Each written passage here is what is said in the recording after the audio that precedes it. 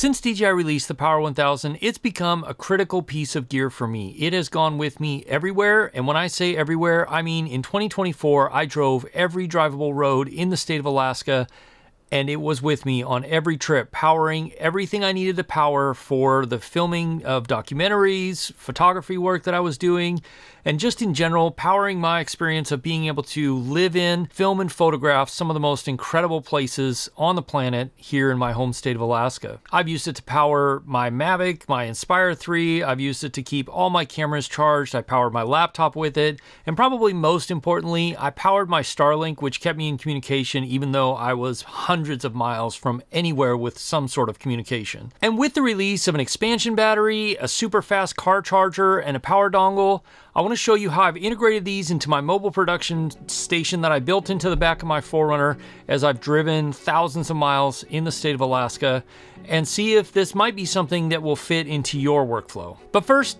we need to get out of the office. And just so we're clear, DJI did send me both of these units to test and to keep, but they're not sponsoring or paying for this video in any other way, and all these opinions are my own.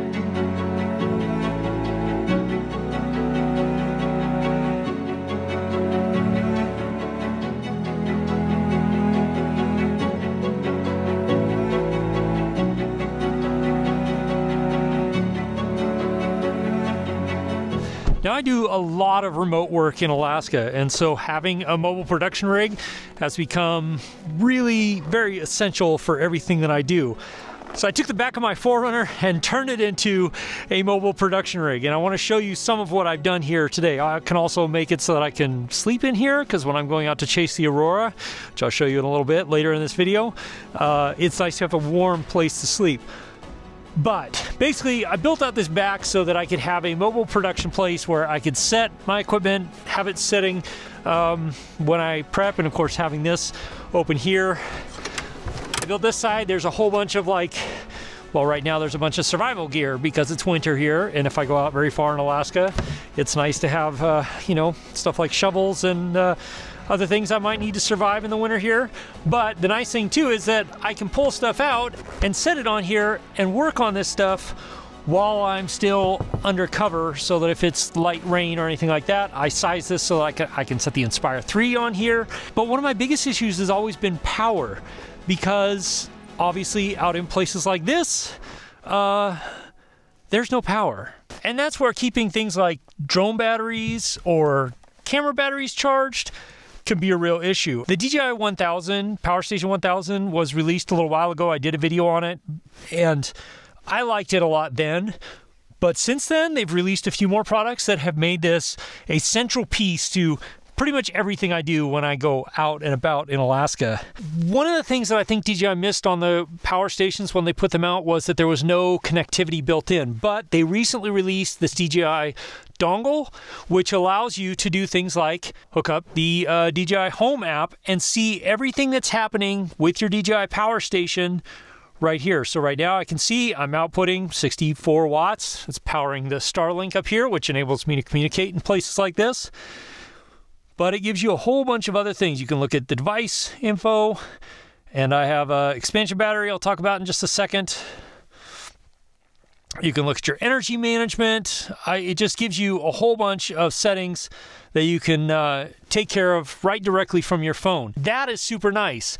But one of the issues I have is this Power 1000 is good for recharging about six or three pairs of Inspire 3 batteries, and sometimes I need more than that.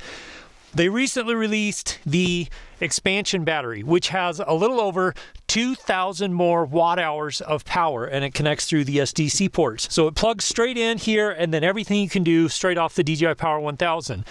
I've been telling my friends to pick up these 1000s because they are amazing, and occasionally when DJI puts them on sale, it's an unbelievable value. One of the things that I've loved about the DJI Power Station 1000 is you can get all these different cables. Now, originally they sent me the Mavic 3 cable and the uh, Air 3 cable, which are these two here. Um, these will fast charge your batteries safely in like 32 minutes, 30 to 32 minutes, depending on the drone and depending on the battery. But you plug them into the SDC ports, and they fast charge those batteries super quick. That has saved me a few times where, you know, I might have gotten somewhere and realized I forgot to charge the batteries or they didn't charge all the way.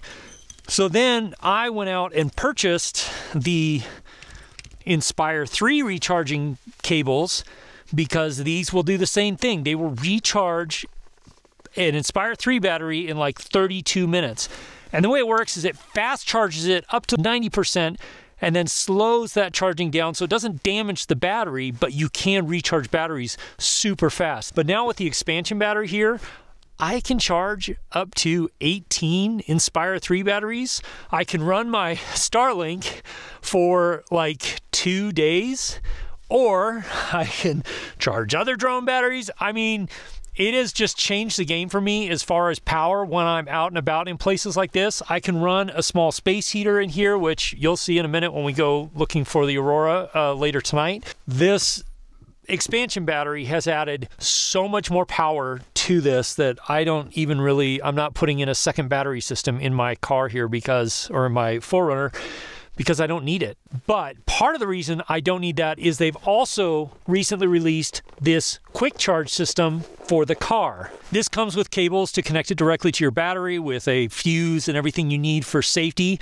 The way I installed mine is I ran the cables from the engine compartment, the battery, all the way back here so that I can have it near the battery station for when I need to recharge. But cool thing is you can switch it on and then it will start recharging the battery, but it monitors the voltage of your car battery, so it won't discharge your car battery too much. You can set it the voltage that you want to allow this system to draw power from the car down, you know, as far as like 12.8 volts or 13 volts, whatever you want, and then have it set so that it won't pull power off the battery of the car any more than that, so you won't end up with a dead battery. But it also has a cool feature of you can back charge the car battery. So, say I was out somewhere where it was really cold and the car battery just got too cold. Not that this has ever happened to me, but I could send power from the DJI power bank back to the car battery to recharge it enough to get it started and get moving again. That is a huge feature that I absolutely love. And the systems I've had before, like I had an inverter back here and stuff, there's no option for that. I basically had to carry around another battery bank that allowed me to jumpstart the car if I needed to, and I had to monitor the car voltage much more closely. With this intelligence system, it's super easy, but it can also recharge the power station at up to a thousand watts, which is super fast and like that that is almost as fast as this thing can recharge. You can also set that with the DJI Home app and the dongle to be like how much power do you want it to recharge at? You can set it at, you know, 250 watts or 300 400 watts. You know, if you notice that your car is having maybe a little trouble with all that extra draw on it, you can lower it down and have it recharge slower. Now, one of my favorite things to do here in the winter is go out and film and photograph the Aurora Borealis because it is spectacular. It's an incredible sight to behold. And one of the things that I need during that time is a lot of power because generally I'm trying to keep my car warm in the dead of winter and stay warm while I lay and wait for the Aurora to start to come out. The nice thing is I've got a heater going. I've got the Starlink going so I can watch YouTube videos on my phone and uh, rest and wait and see. The name of the game for the Aurora is you end up just sitting around waiting a lot and waiting for the data to get right and the things to change. But tonight is supposed to be a great night, so I think we're going to get something good.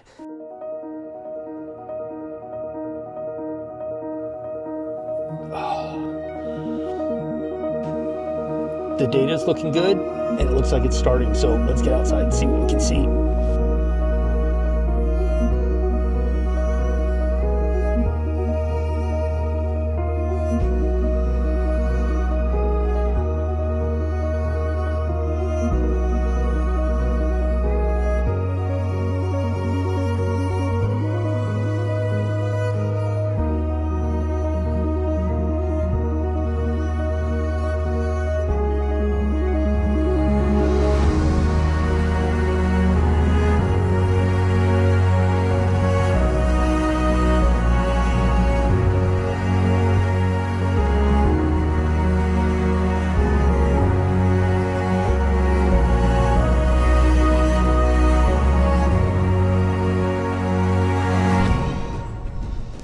Well, that was a pretty spectacular night. I hope you enjoyed that footage of the Aurora.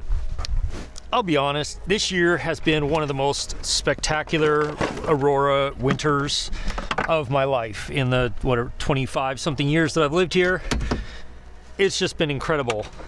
Um, I'm hoping that we capture some more before the end of this winter, but it's morning, got somewhat of a long day ahead, so time to make some coffee and see. I've been super impressed by how well this has been keeping power. Um, it just, it's powered that little heater for most of the night. Like I had it turned down pretty low, but it just, it's keeping stuff going really, really well, which is amazing. And the best part is, even with the heater and the coffee maker going right now, we're still drawing well under the 2400 watts that this system is capable of putting out. Hey, real quick, if you're enjoying or getting value out of this video, then consider subscribing.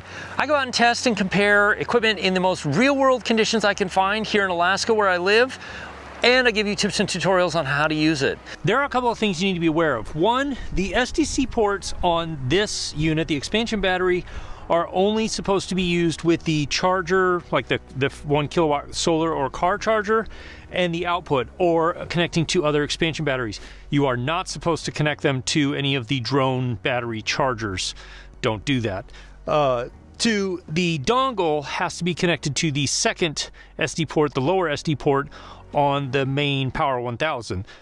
Uh, that's the only place it works. And then of course this has to go into the upper SDC port on the Power 1000 or it doesn't communicate with the expansion battery. So that's a little bit of a bummer that you lose access to basically all the SD uh, SDC ports, but the fact that you get that much more energy, that much more power based on the same footprint of basically two of these, but you get a whole 30%, 33% more power is invaluable. And then the only other thing you need to be aware of is that you're still limited to the 2400 watts of output power that this system can put out. But then you might be wondering, why would you choose this sort of a system over just putting a 1000, 2000, 3000 watt, out, watt output uh, inverter in your car? Well, one, this doesn't demand that your car is running to power that or that you're pulling power off of your car battery the whole time. You also don't have to install a second battery system, which can be advantageous depending on what you're doing with your car. But the biggest reason for me to do this is that this system will output perfectly stable voltage no matter what is happening. So say the car is running and I'm recharging the system at, you know, four or 500 watts or 1000 watts or whatever. Um, this will still be outputting perfectly stable voltage, which is great protection for any electronic equipment you're gonna put in here. Next, you're gonna wanna watch this video right here. I'll see you over there. As always, if you have questions, ask me in the comments below or join my live stream, which happens most Wednesday nights at 4 p.m. Alaska time, 8 p.m. Eastern. Thanks DJI for powering this video. I'll see you again soon in the next one. Cheers.